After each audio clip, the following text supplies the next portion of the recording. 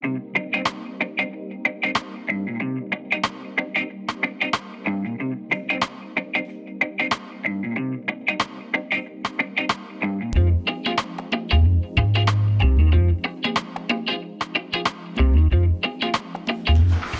thank you very much. Um, when you come to local government in Ghana, um, our role is enormous because um, every single thing is being done by local governance system, i.e., doing it from the bottom-up approach. When it comes to consultation, for example, you have to go down, down to the people from the, uh, as far as more than even the electoral area level, you go down to the district assembly, you go further down to area council, sub-metros, and all those things to do proper consultation. And we think this is the way that the people can actually own everything. And when it comes to, I mean, implementation or something like that, they see it as something that they have done and something that it belongs to them and they will hold it and implement it properly. So that's the role that local governance is playing in, in Ghana.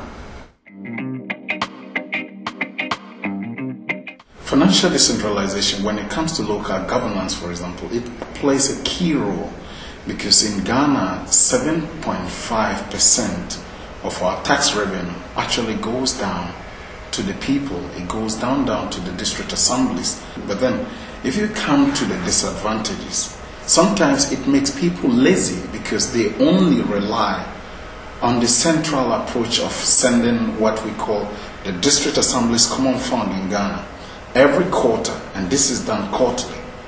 But then, what is the other approach that we have developed as local government in Ghana?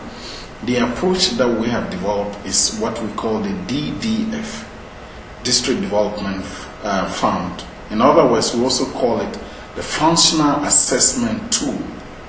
FOAT DDF. The Functional Assessment Tool, which is very interesting, and I think um, if it's being implemented across board, it will be very important because you are assessed, and based on your assessment, if you perform, money will be transferred to you annually.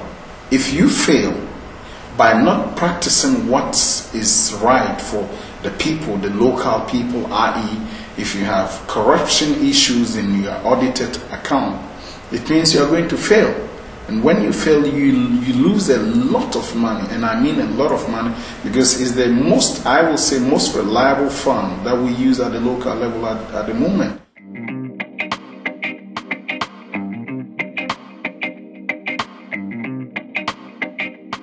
Look, when you come to something like poverty eradication, who are you talking about? You're talking about the local people. When it comes to something like housing, um, trying to take care of housing, who are you talking about? You're talking about the local people. When it comes to um, education, you're talking about the local people. When it comes to all these agendas that we are talking about, or the goals, we are referring to the people. So the people must come out with something and they own it. They will say, Yes, this is what we said we want.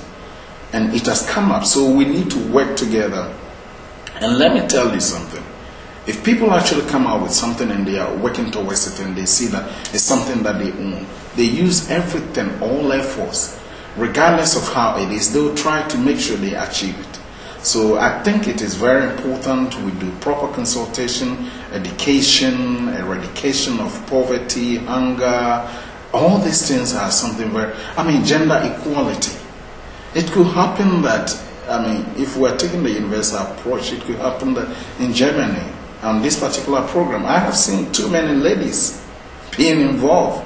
But when it comes to probably in Ghana, I'll ask myself at local level, do we have gender equality when it comes to this? Probably the answer will be no. And if the answer is no, and the local people are saying, yes, this is what we want, and then I think it becomes something that they own, and it's very important. What I would say is the MDG was alright, it was good. Um, however, certain things has not been able to achieve. Probably, and I'm using the word probability.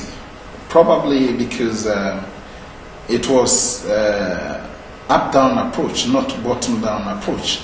So when it comes to implementation, um, there may be challenges and all those things. And I think going forward, we have to let decisions come from the ground and um, we take it together in a universal approach whereby we will not see it to be only for a particular country or only for a particular region of people, but collectively we're trying to work towards it and fight it together.